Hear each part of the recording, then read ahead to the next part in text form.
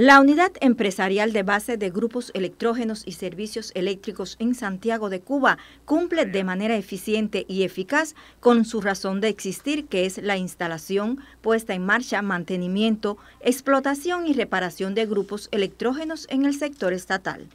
Geisel tiene impacto en la sociedad porque al brindar estos servicios vitales la población mejora la calidad de vida. La generación de fue un pilar fundamental para el cumplimiento de, que el verano pasado de, la población de Cuba fuera un verano eh, tranquilo, con, estabilidad energética. Nosotros definimos, fue un factor importante en, ese, en esa parte de la generación en sentido general. Nosotros también eh, nos preparamos ahora, en este momento estamos enfrascados en la preparación para el invierno, o sea, atenuamos el tema de los apagones, amén de las dificultades que hoy tenemos, sobre todo con la materia prima fundamental que es el combustible, Hoy nosotros aseguramos el impacto del apagón a la población sea el menor posible.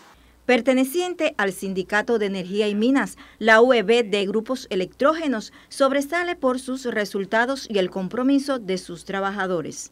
Esta central tiene como función principal la generación de, energía hacia el sistema energético nacional. Nosotros preferentemente tenemos como objetivo fundamental es la disponibilidad y la eficiencia.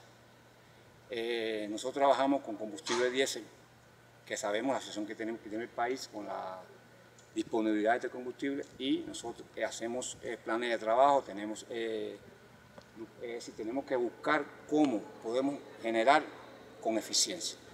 Y eso es trabajando con los trabajadores, trabajando con los obreros, con los mecánicos, con los eléctricos, con el, con personal, hablando, evitar averías, evitar derrames, evitar derrame combustible. Nosotros aquí preferentemente recibimos alrededor de 5, 6, 7 pailas de combustible, sí, bastante litros. Consumimos alrededor de 350 mil litros mensuales, así que es un nivel alto de combustible. Y por supuesto los índices de consumo de un plan de 2.15 lo tenemos en, en 2.11, 2.12, de acuerdo a cómo se comporta el mes. Este 2024, la Unidad Empresarial de Base de Santiago de Cuba prevé superar los indicadores positivos, aportando al país y al sistema electroenergético nacional. José Vladimir y Bárbara Aroche Cuadro, Canal Cubano de Noticias.